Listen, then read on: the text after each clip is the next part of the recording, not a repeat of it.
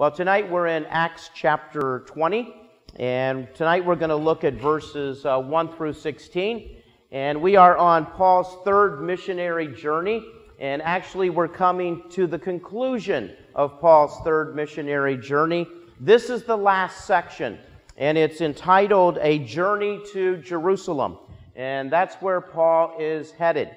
And he's already said in chapter 19, after being in Ephesus for three years, that his primary goal is to go to Jerusalem and then go to Rome. And the rest of the book is really about those two cities, uh, both getting there and what happens to Paul once he gets there. And right now, Paul has begun that journey uh, to Rome. He's going to leave Ephesus after three years, and his next goal in mind is I must make it to Jerusalem. And he has an objective in doing that. So, in this journey section, uh, Paul's going to do uh, five things. He's going to revisit some of those churches in Macedonia. Uh, he's collecting money for the poor Christians in Jerusalem. So these Gentile churches are going to give money for the Jewish church in uh, Jerusalem. So Paul's going to go back to make that collection. Uh, he's also going to have a rather strange ministry in Troas. It's a story of tragedy and comedy at the same time. And we're going to look at that tonight. Eventually, he makes it to Miletus, uh, which is one of the places he wanted to go. And once he gets to Miletus, which is 30 miles from Ephesus, he wants to have one last conversation with the church leaders from Ephesus. So he invites them to make that 30 mile journey so that he can talk to them one last time. And then the last part of this journey is that several people are going to say to Paul, Don't go to Jerusalem. If you go to Jerusalem, bad things are going to happen to you. So just don't go, and you'll be fine. And of course, we know how stubborn Paul is. So he's going to have to deal with that, with all of his friends telling him not to do something that he has his heart set on doing. Maybe you've been there before in life.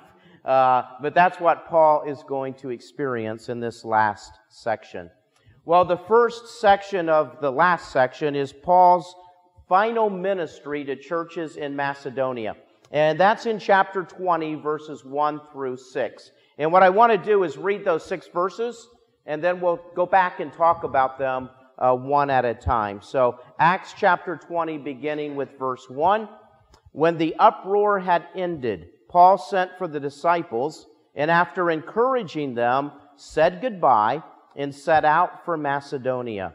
He traveled through that area, speaking many words of encouragement to the people, and finally arrived in Greece, where he stayed three months. Because the Jews made a plot against him just as he was about to sail for Syria, he decided to go back through Macedonia. He was accompanied by Sopater, son of Pyrrhus from Berea, Aristarchus and Secundus from Thessalonica, Gaius from Der- Derbe, Timothy also, and Tychicus and Trophimus from the province of Asia. These men went on ahead and waited for us at Troas. But we sailed from Philippi after the feast of unleavened bread, and five days later joined the others at Troas, where we stayed seven days. So, this is Paul's final mission uh, to the churches in Macedonia. And it begins by saying, when the uproar had ended. And that was the uproar we talked about last week. Uh, that was in the uh, outside arena at uh, Ephesus, where the silversmiths had brought charges against Paul. Uh, basically, they were angry at Paul because Christians weren't buying their statues and they were losing money. And he basically accused Paul of speaking against the great Art- Artemis, who was the goddess of Ephesus. And they get in the arena and everybody's yelling, and finally the city clerk quiets everybody down. Basically says the Christians haven't committed any crime. Uh, so if you want to try to press charges against them, you do that in court, uh, not uh, in this area. And basically, after that, everybody leaves and goes home. So finally, when that uproar had ended, Paul sent for the disciples, and by disciples, he's not referring to the original 12. Uh, he's talking about to Christians there in Ephesus.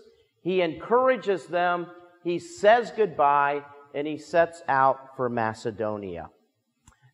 It's at this point that we realize that Luke doesn't record everything about Paul's story. Uh, it could be that Luke doesn't know everything that happened to Paul. Uh, we're going to find out tonight that most likely Luke is in Philippi, where he meets up with Paul again. So, a lot of what Paul did on this missionary journey, uh, Luke never hears about. Uh, Luke only finds out about when he asks Paul about the stories that took place, and whatever Paul decided to share is what Luke recorded. Also, Luke is writing uh, with a theme in mind, with an agenda in mind, and some things that happen to Paul just don't fit the theme, they don't fit the agenda, so there's no reason to include them in the book of Acts. In other words, Luke doesn't record everything that Paul did. He's very selective in what he records. And at this point, Luke leaves out some big information that Paul talks about in the book of Second Corinthians, chapters 1 through 7. And it's at this point that Paul's relationship with the church at Corinth gets rather strained. Paul spends three years in Ephesus. During his final year in Ephesus, Luke doesn't record this, but Paul makes a journey to Corinth. And that journey to Corinth and the time he spends in Corinth turn out badly. Paul meets up with some opposition, and Paul has what he calls in 2 Corinthians chapter 2 verse 1 a painful visit. So Paul visits the church in Corinth and things don't go well at all. He runs into people who oppose him and things get rather nasty. So Paul returns to Ephesus and he writes a letter back to the church at Corinth. And scholars have termed this letter a severe letter. Paul describes it in 2 Corinthians chapter 2 verses 3 and 4 as a painful letter written with many tears. And basically this is a confrontational letter where Paul confronts the Corinthian church and tells them to get their act together. Uh, there's some things going on in Corinth that are wrong, and the leaders of the church need to step up and correct the wrong that is taking place. Well, what's going on in Corinth? Well, if you've ever read 1 Corinthians, you know the church at Corinth has lots of problems. In fact, it seems that when you read 1 Corinthians, they don't get anything right. And one of the things they argued about in Corinth, they argued over their favorite apostle or their favorite evangelist, their favorite missionary. And Paul talks in 1 Corinthians that some liked Simon Peter. He was one of Jesus' original 12. Uh, he was able to tell them stories about Jesus. So they really liked him. Uh, Apollos also had made his way into Corinth. And Apollos was just a dynamic speaker. And the people just loved hearing him talk. And so many people liked Apollos. Well, Paul founded the church in Corinth. And you can read about that. We actually studied that in Acts chapter 18. Uh, Paul actually founded the church on a missionary journey. And so a lot of the people loved Paul.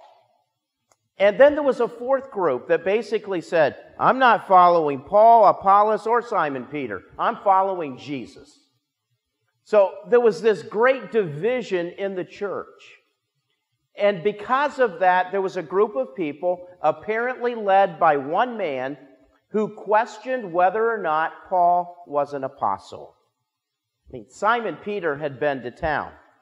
Simon Peter had been with Jesus during those three and a half years of ministry. Paul had not. Uh, of course, Paul had the great story of what took place when he met Jesus on the road to Damascus, but Paul had not been with Jesus during his earthly ministry. So there were a lot of people in Corinth saying, Paul's not a true apostle. Peter is, but Paul is not. So we don't have to listen to Paul because he's not a true apostle. And so while all of this controversy is going on, Paul shows up and he meets this opposition group head on. And there's a lot of conflict and a lot of tension. And then Paul comes back and writes the letter, basically telling the church leaders, you need to solve this problem. Uh, you need to make this right. Uh, in fact, Paul basically said, I am your apostle because I founded the church and God has called me into the ministry to be an apostle. And so Paul challenges them to make this right. And at that point, we pick up with Acts chapter 20, verse 1. Uh, that's the time frame. So Luke doesn't tell us anything about the little trip to Corinth that went bad. He doesn't tell us anything about the letter that Paul sent. And Paul sent that letter with Titus. Uh, Titus delivered the letter. And Titus' assignment was to remain there in Corinth until after they read it and decide what to do. And then Titus was to come back to Paul and tell him what they decided. Paul would like to go to Corinth again, but he's not going to go if it's going to be a disaster like it was the previous time. So, Paul leaves Ephesus and he sets out for Macedonia and he ends up going to Troas. And while he's at Troas, he has an effective ministry. And on this map, uh, basically, Paul leaves Ephesus right there in the middle and goes up to Troas. And eventually, he's going to try to make his way into uh, Greece and Macedonia. Paul is hoping while he's at Troas ministering that Titus will show up and give him a report. But while at Troas, Titus never shows up. And eventually, Paul decides to leave and continue his journey into Macedonia, hoping again that he would run in to Titus. Can you imagine that in the first century? You know, just hoping to bump into somebody? You know how much easier that is today? You just send them a text. You know, that's a piece of cake. Uh, but back in the first century, communication was difficult. And so Paul is hoping to bump into Titus. So Paul leaves Troas and makes his way to Philippi. And while he's at Philippi, Titus shows up. And fortunately, Titus has good news. The letter was well received by the church leadership. They have carried out discipline against those who are causing all the trouble, and the church is willing to reconcile with Paul. So it ends up being a good story uh, after Titus leaves. So at that moment, Paul decides, I need to write another letter uh, to the church at Corinth. And he's going to send it with Titus, who's going to go ahead of him. And eventually, Paul's going to leave Philippi and make his way to Corinth once again. So at that point, Paul writes another letter. It's the letter we call Second Corinthians. Now, in reality, Paul writes four letters to this church. Uh, he writes an initial letter that we don't have. Uh, in fact, in what we call First Corinthians, Paul makes reference to an initial letter that he sent them. But we don't have it. Apparently, it got lost. Uh, the second letter that he writes is what we call First Corinthians. Then the third letter that Paul writes is what we just called tonight the severe letter, the confrontational letter. And then the fourth letter is Second Corinthians. So Paul ends up writing them four times. We have two of those letters. Uh, we don't have the other two. Uh, I'm guessing that severe letter eventually got torn up uh, once things got reconciled. Uh, that was probably, probably not something they wanted to spread around the community. So chances are somebody tore that one up. So, Paul eventually decides, I'm going to Corinth. So he travels from Philippi all the way to Corinth. And he's going to stay there for three months. While Paul is at Corinth, he writes the letter that we call Romans. Because remember, where does Paul want to go? He wants to go to Jerusalem and eventually to Rome. So Paul takes this opportunity while he's in Corinth, and chances are it's during the winter months, so he's not going anywhere anyway. And so he's kind of stuck there. It's probably AD about 55 to 56. Paul's not going anywhere, so it's a great opportunity to write a letter and send it ahead to Rome so that when Paul eventually arrives in Rome, they will know who he is and be expecting him. So, as we move on, it says Paul traveled through that area, meaning Macedonia, speaking many words of encouragement to the people. Now, Paul's major concern as he's making his way through Macedonia is to collect money for the Christians in Jerusalem. So these words of encouragement may have been words of encouragement to give uh, to the Christians in Jerusalem. So his goal is to make that collection and then leave Corinth and go to Jerusalem. And he wants to be there by Passover, if he can. So he finally arrives in Greece. Greece is Corinth. So that's where he ends up spending the three months. So he arrives in Greece, which is Corinth, where he stayed for three months. So things are working out. Uh, it was a disaster with the church at Corinth, but things have been reconciled. Paul goes there for three months.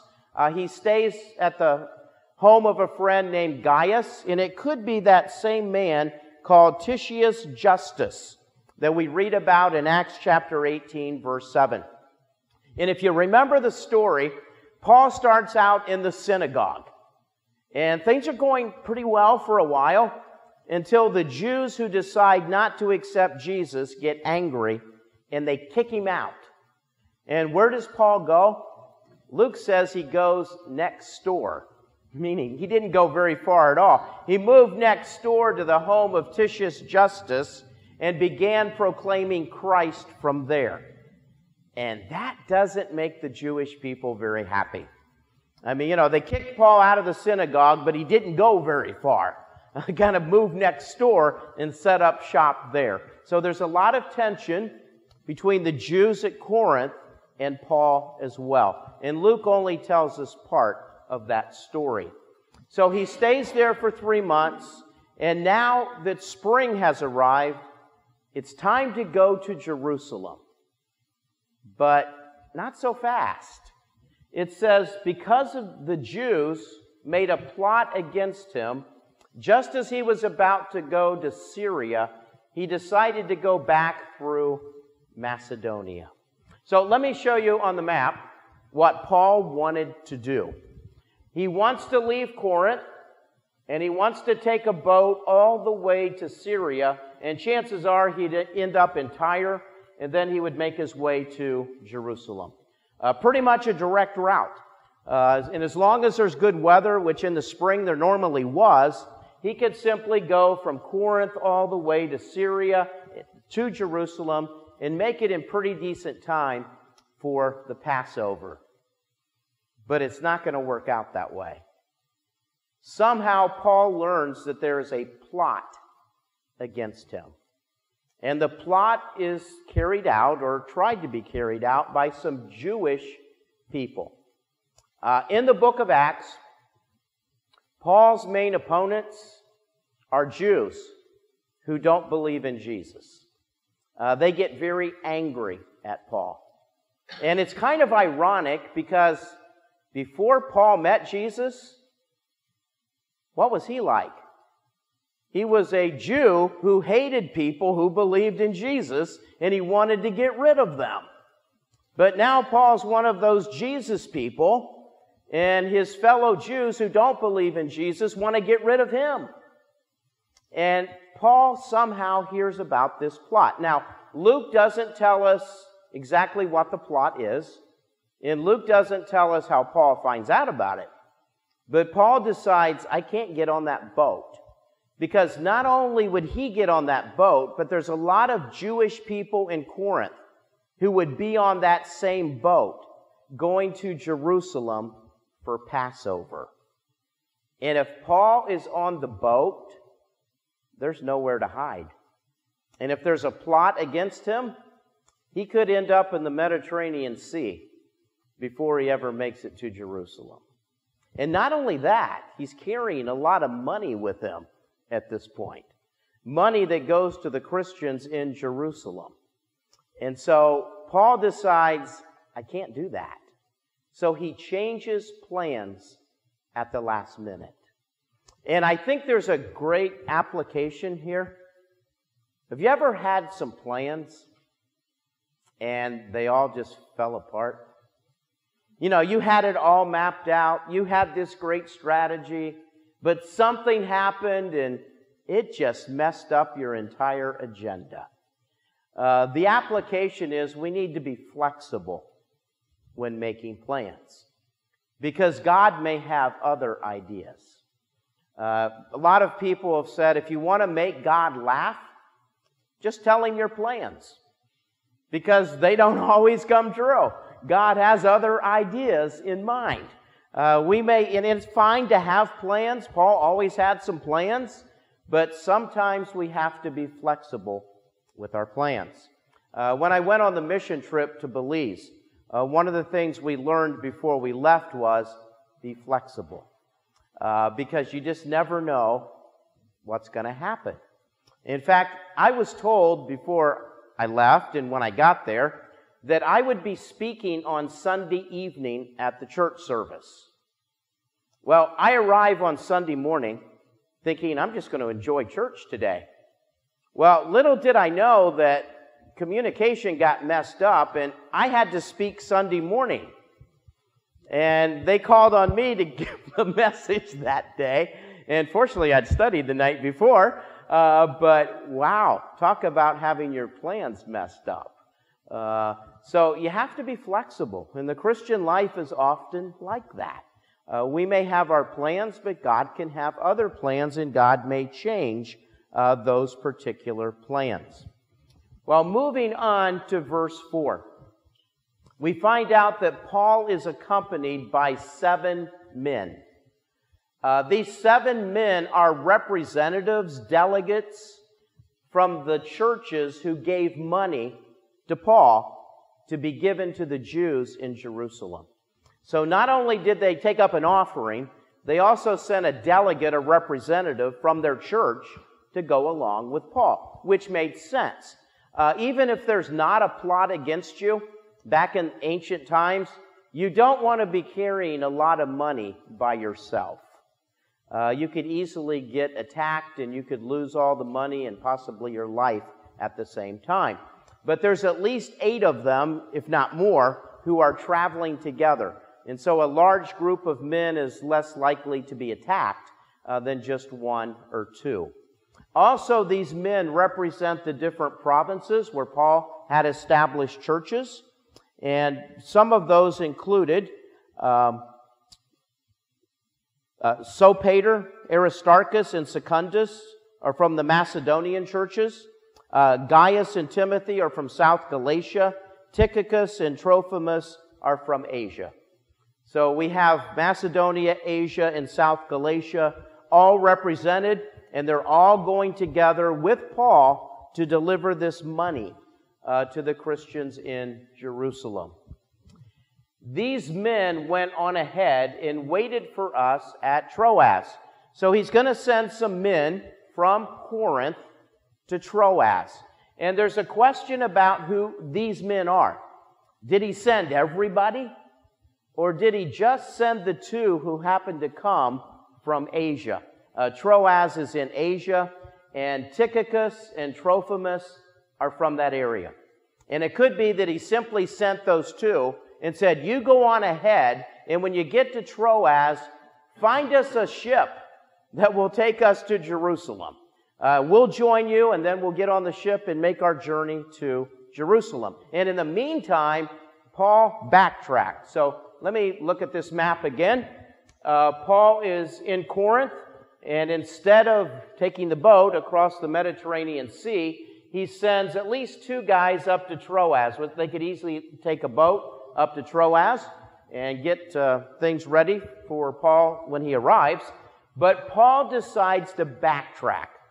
So he goes from Corinth, probably takes a boat to Berea, and then walks to Thessalonica, Philippi, Neapolis, and eventually he'll get on a boat at Neapolis and end up in Troas. So again, he's got plan B uh, all worked out. He's going to send some men ahead and he's going to join them. And it ends up being five days from Neapolis to Troas. And it's interesting, when he went the other way, when he began the missionary journey, the journey from Troas to Neapolis only took two days. He had a tailwind then. Now he runs into a headwind. Instead of two days, it's a five day journey uh, to get there. So, also something interesting that we find in verse 5 is the word us. Luke is the author of Acts. And there are times when Luke will use first person pronouns. Uh, they're often called the we sections of the book of Acts. And whenever you see a first person personal pronoun, you know that Luke is there on the scene. So, as it turns out, while they're in Philippi, that's where they meet up with Luke once again. And in Philippi is where Paul celebrates the Passover. He wanted to be in Jerusalem. he ends up in Philippi. And again, you got to be flexible because you never know what's going to happen. The last time we met Luke was when Paul was in Philippi. There's a good possibility that when Paul left Philippi, which when he left the first time, he got escorted to the city line and said, Get out of here. Uh, there's a possibility that Luke has stayed there the entire time. Uh, Paul knew he could not stay, but Luke could. And it's a good possibility that Luke continued to minister in Philippi uh, while Paul was on these other missionary journeys. But now that Paul is back in Philippi, Luke says, I'm coming with you. Wherever you're going, I'm going. And for the next several verses and chapters in Acts, it's very detailed. Why is it so detailed? Luke's there. And perhaps he's got, you know, pen and paper writing down what happens every step of the way. So Luke has now rejoined Paul. Verse 6 But we sailed from Philippi after the feast of unleavened bread, which it was Passover, was the one day, then seven days the feast of unleavened bread, and five days later joined the others at Troas. And once they get to Troas, they're going to stay there for seven days. So again, they've made it from Philippi over to Troas in Asia, and that's where the next story is going to take place. The next story is in verses 7 through 12. Uh, let me read this story. It's a story of tragedy and it's a story of comedy at the same time. So, verse 7 On the first day of the week, we came together to break bread. Paul spoke to the people, and because he intended to leave the next day, kept on talking until midnight. There were many lamps in the upper room where we were meeting. Seated in a window was a young man named Eutychus, who was sinking into a deep sleep as Paul talked on and on. When he was sound asleep, he fell to the ground from the third story and was picked up dead. Paul went down, threw himself on the young man, and put his arms around him. Don't be alarmed, he said. He's alive. Then he went upstairs again and broke bread and ate. After talking until daylight, he left. The people took the young man home alive and were greatly comforted. What a story! Uh, from tragedy to comedy, and there's all kinds of little things in this story that are a little bit strange. Well, it begins with the fact that they're going to stay seven days in Troas, and apparently they're waiting for the next boat to arrive. Well, the sixth day of the seven happens to be a Sunday, the first day of the week. So Paul decides to join the Christians at Troas in a worship service. And it's a worship service that includes celebrating the Lord's Supper. Uh, there may have been a community meal, and Paul giving a very, very long sermon. Uh, so it gives us a little bit of insight about how they celebrated church in the first century. And this is one of the earliest indications that Christians celebrated, went to church on a Sunday. Uh, those who were Jewish used to go to the synagogue on the Sabbath, which would, would have been a Saturday. But now we find Christians celebrating, worshiping on a Sunday.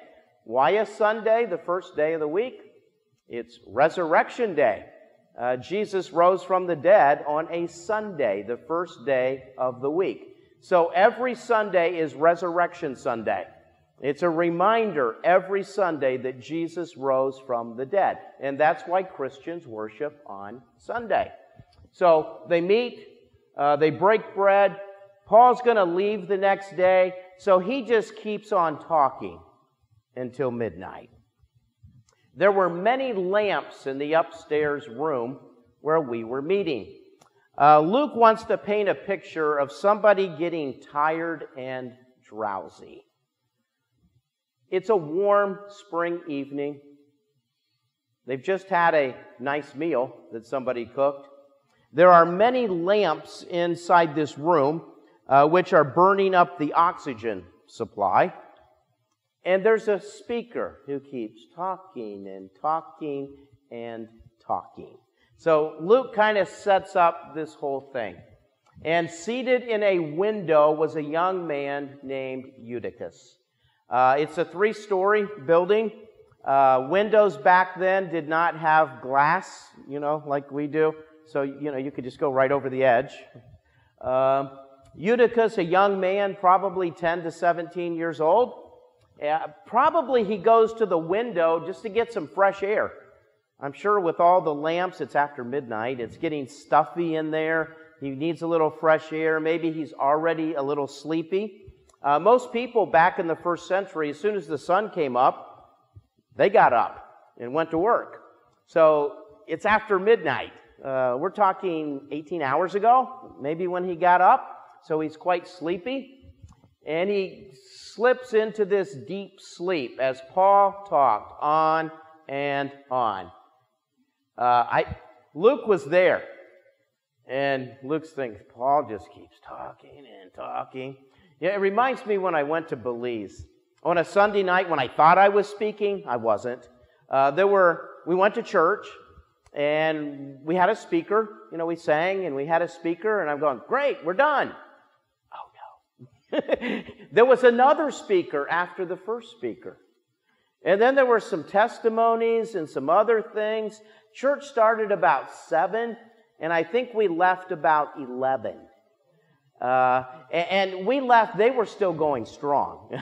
you, know, you know, but that's four hours, and we're not used to that. You know, an hour, we're done in America, you know. But, you know, four hours of church, and I was going, yeah, I kind of relate to this. And so Paul kept talking on and on.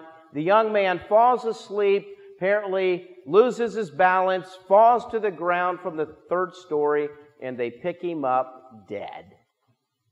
And we're thinking at that point, what a horrible story that this would happen.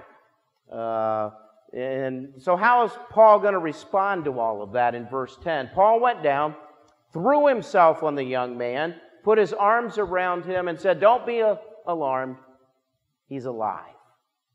So Luke portrays this as a resurrection, a recitation story. Uh, the young boy died.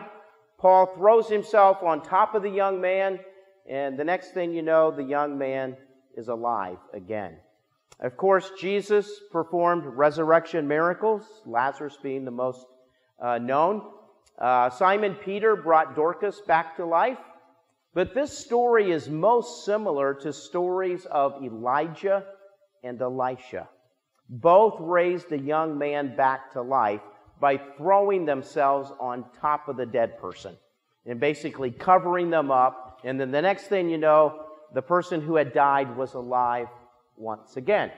So now we've got a good story. The young man's alive again. And, and you would think they would just all go home after that. You know, we've had enough excitement for one day.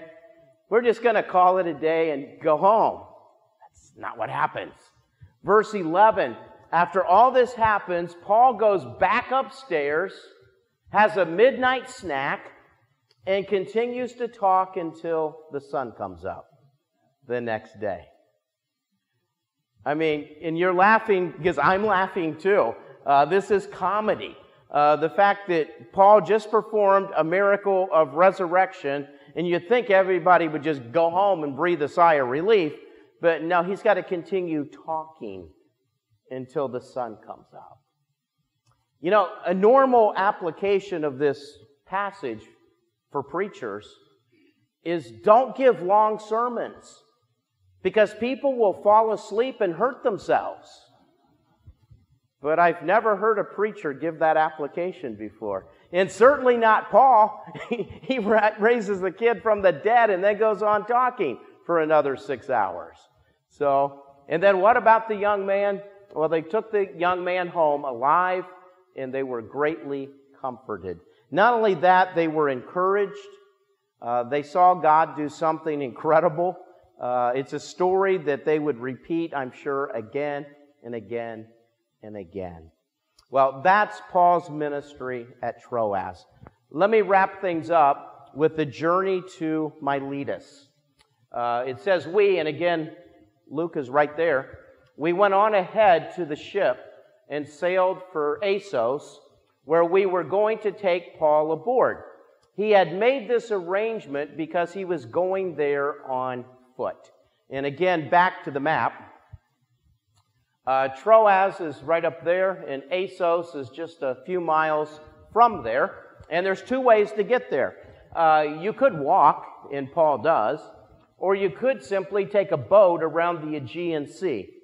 Uh, for some reason, everybody goes by boat, except Paul. Uh, and not sure why. Luke doesn't explain why. Uh, but that was the plan that uh, everybody else would take the boat and Paul would walk, which he does. When he met us at Assos, we took him aboard and went on to Mytilene, which again was just a little seaport town. The next day, we set sail from there and arrived off uh, Chios. The next day after that, we crossed over to Samos, and on the following day arrived at Miletus. And again, Luke is with him. And Luke apparently has his little travel journal, and he's writing down all the little seaport towns that they visit. It takes about five days to make that journey from Troas to Miletus. Uh, Miletus is where the next story is going to take place. So they arrive at Miletus, and Paul had decided to sail past Ephesus to avoid spending time in the province of Asia, for he was in a hurry to reach Jerusalem, if possible, by the day of Pentecost. He's already missed Passover. Now he's shooting for Pentecost. Paul decides to skip Ephesus. And if I go back on the map, from Assos, he could have stopped at Ephesus. There was a, there was a seaport there. But he bypasses it and ends up in Miletus. And the question becomes why skip Ephesus? Now, he left after an uproar in the town. And Luke doesn't give us a lot of information. Uh, there could have been more opposition to Paul in Ephesus uh, than Luke records. And so, not only was Paul in a hurry to get to Jerusalem, but there could have been trouble in Ephesus if he had stopped again. Because if Paul was in such a hurry, Why does he do what he does in the next verse, verse 17? In verse 17, he invites the elders, the church leaders, from the church at Ephesus to meet him in Miletus. In other words, Paul isn't going to them, he wants them to come to him in Miletus, which is 30 miles away. And back then, travel was slow. I mean, today, piece of cake. Back then, five days. Because Paul has to land in Miletus, send a messenger 30 miles to Ephesus to tell the elders that Paul wants to meet with you. So he has to gather them up, round them up, then bring them the 30 miles to Miletus. And scholars estimate that takes about five days. So, why, if Paul is in such a hurry, does he, in essence, waste five days in order to talk to these people once again? And because of that, many scholars feel that it's not just a time factor in Ephesus, there could be trouble in Ephesus. And Luke doesn't always tell us all the trouble that Paul gets in. Uh, in fact, Luke often only records the good stuff of Paul's ministry. Uh, Luke often doesn't record the persecution that Paul encounters. In 2 Corinthians, Paul gives a list of all the times he was persecuted and all that he went through. And you won't find most of those in the book of Acts. Uh, Luke just simply doesn't record them. In fact, there's only one time that Paul is persecuted by the Roman government, and that's in Philippi. And Luke makes the point that he was illegally persecuted. As a Roman citizen, his rights were violated. Uh, and that was part of the point.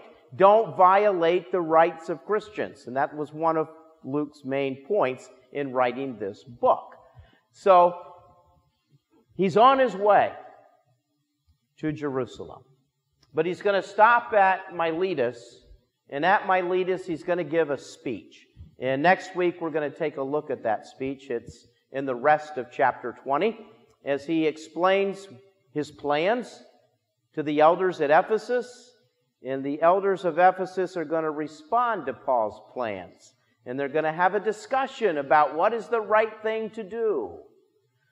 Well, tonight, we've learned that we can have great plans, but God can interrupt those plans. God can change those plans. God can have a better plan than what we have. So, whenever we make plans, leave room for God. He just might have something different in mind for us.